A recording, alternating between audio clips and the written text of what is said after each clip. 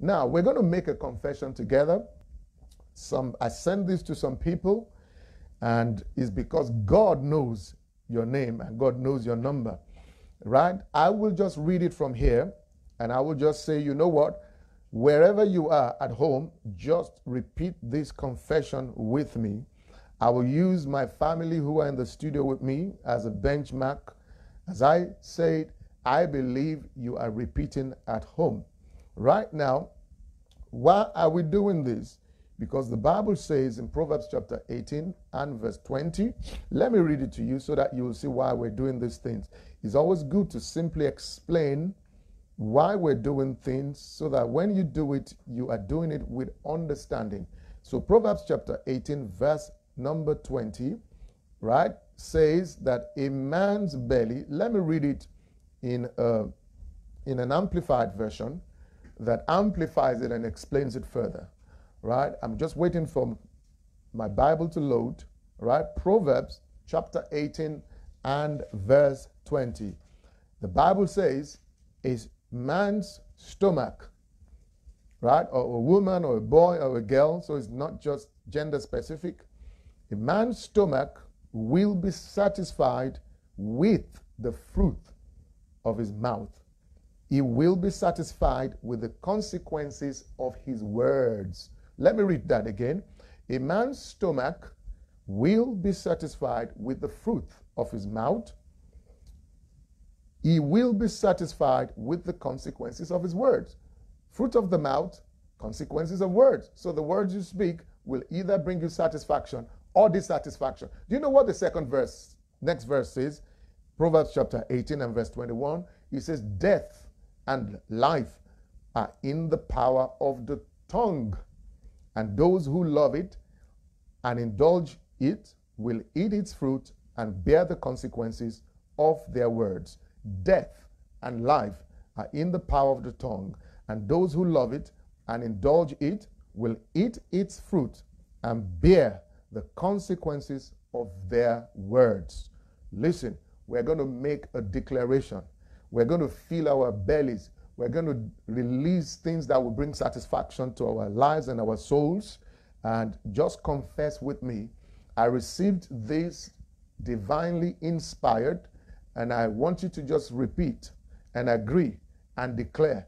If you're at home and you can stand, stand with us, or you can sit, take any posture, but just make sure that these words are coming from your belly, coming out of your lips, and you believe every single word because God confirms His word we speak with signs following.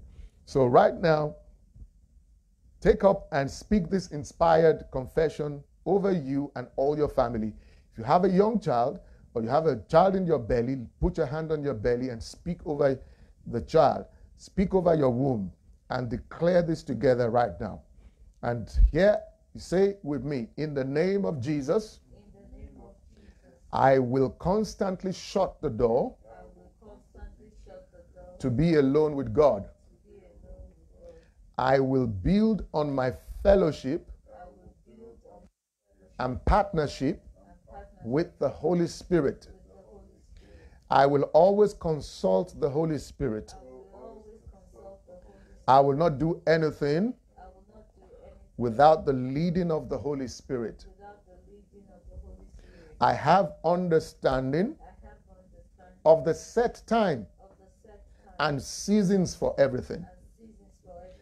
God has made everything beautiful in its time for me. Trees and fruits have their seasons.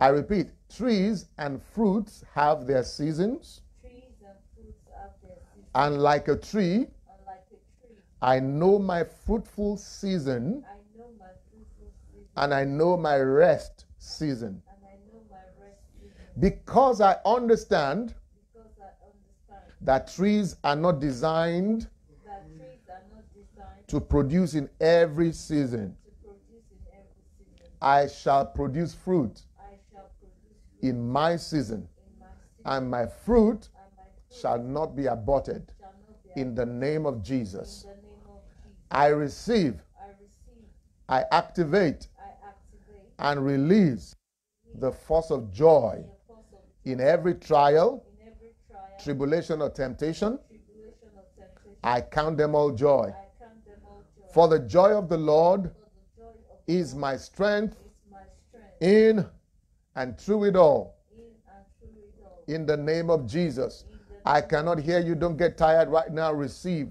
Breathe in and breathe out. Again, we're going to declare by the Spirit of God. Declare now the locust. the locust, Say louder. The locust, the locust, cankerworm, cankerworm, palmer worm, palmerworm, caterpillar caterpillar may have he- eaten, may have eaten, but in this season, in this season, this new season, this new season, God is restoring God is restoring the years, the years, all the years, all the years, all my years that I may have lost. In the name of Jesus, my years are being restored. restored. In the form of new opportunities as I improve my values, my honor, my respect for people, and little things I once despised. I cannot hear you. I cannot hear you. God is restoring God is restoring seconds, seconds, minutes, minutes, hours, hours, moments, moments, days, days, weeks, weeks, months, months, seasons, seasons, and years. and years. I seize the opportunities seize the opportunities that come to me come to me every second every second and make the best of them. and make the best of them. When I ask God for wisdom, When I ask God for He gives me liberally He gives me liberty, the wisdom I need the wisdom I need to overcome.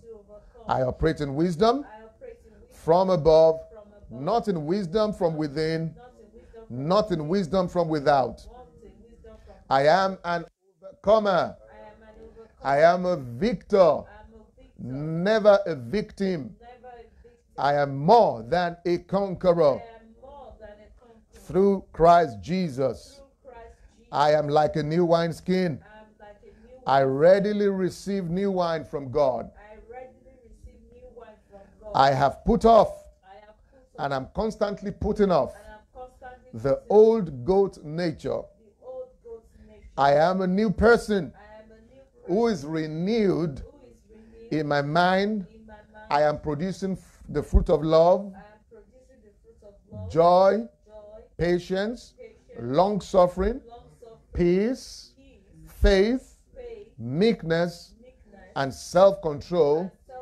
in all that I am that and in all that I do. and in all that We are about to hit it now. In the name of Jesus, in name of Jesus. inside every problem Inside every lies the solution. lies the solution. I am a problem solver. I am a. I confront problems I confront and solve them and solve them with divine knowledge, with divine knowledge, divine understanding, divine understanding, and wisdom to the glory of God.